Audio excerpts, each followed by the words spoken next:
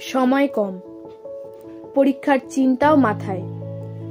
এত অল্প সময় প্রস্তুতি কীভাবে হবে? ভালো নম্বর আসবে কীভাবে? সময় যতই গড়িয়ে যাচ্ছে, উত্তেজনা বাড়ছে। এইসব কথা কি তোমারও মাথায় আসছে না? কোথাও তোমার মনে হচ্ছে না তো? তুমি খুব দেরি করে ফেলেছো? আরে দেরি হয়নি বন্ধু। হ্যাঁ ভুল অবশ্যই হয়েছে। তুমি তোমার সময় সঠিকভাবে ব্যবহার করতে পারোনি। তবে এখনও দেরি হয়ে যায়নি নিজের সময়কে সঠিকভাবে ব্যবহার করে স্বপ্ন পূরণ করার। এসো তবে দেখে নি সেই বিষয়ে কিছু টিপস। কীভাবে পড়ালেখায় নিজের মনোযোগ বৃদ্ধি করবে। আমরা বেশিরভাগ সময় নিজের সুবিধা মতোই পড়ালেখা বা পড়াশোনা করি।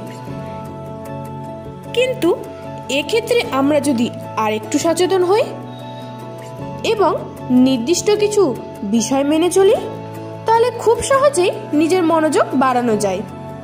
মনোযোগ বৃদ্ধির নির্দেশাবলী। এক, পড়তে বসার আগে একটু চিন্তা করো। কি পড়বে? কেন পড়বে? কতক্ষণ পড়বে? প্রত্যেকবার পড়ার আগে কিছু টার্গেট ঠিক করে নাও। যেমন, এত পৃষ্ঠা বা এতগুলি অনুশীলনী অধিকাংশ ছাত্রছাত্রীর দিনের প্রথম ভাগেই এনার্জি বেশি থাকে। তাদের ক্ষেত্রে দেখা গেছে, যে পড়াটা দিনে এক ঘন্টায় পড়তে পারছে, সেই একই পড়া পড়তে রাতে দেড় ঘণ্টা লাগছে। তাই কঠিন, বিরক্তিকর ও একঘেয়ে বিষয়গুলি সকালের দিকেই পড়ো। পছন্দের বিষয়গুলি পড়ো পরের দিকে। তবে যদি উল্টোটা হয়, তাহলে রাতে পড়তে তুমি স্বাচ্ছন্দ্য বোধ করো। তাহলে সেইভাবেই সাজাও তোমার রুটিন। দুই, মনোযোগের জন্য তুমি কোন ভঙ্গিতে বসছো সেটা গুরুত্বপূর্ণ। সোজা হয়ে আরামে বসো, অপ্রয়োজনীয় নড়াচড়া বন্ধ করো, চেয়ারে এমনভাবে বসো যাতে পা মেঝেতে লেগে থাকে। তিন পড়তে পড়তে মন যখন উদ্দেশ্যহীনতায় ভেসে বেড়াচ্ছে, জোর করে তখন বাইরের দিকে তাকিয়ে না থেকে দাঁড়িয়ে পড়ো। তবে রুম ছেড়ে যাবে না। কয়েকবার এ অভ্যাস করলেই দেখবে আর অন্যমনস্ক হচ্ছ না। পড়া কীভাবে মনে রাখবে? কিছু টিপস আমরা আমাদের মস্তিষ্কের অতি সামান্য অংশই মাত্র ব্যবহার করে থাকি। শতকরা হিসেবে মাত্র পাঁচ শতাংশ থেকে সাত শতাংশ।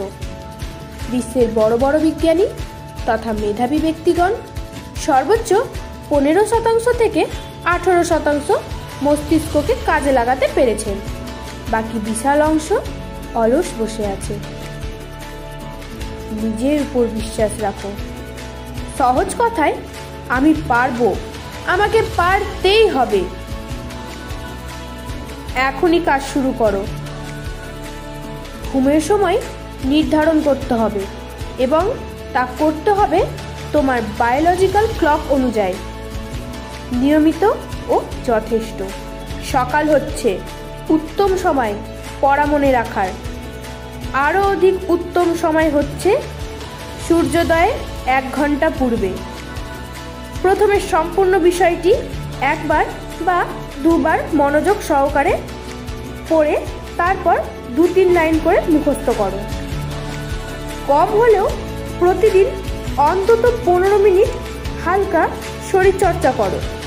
প্রতিদিন অন্তত পাঁচ থেকে সাত মিনিট মন খুলে হাসো।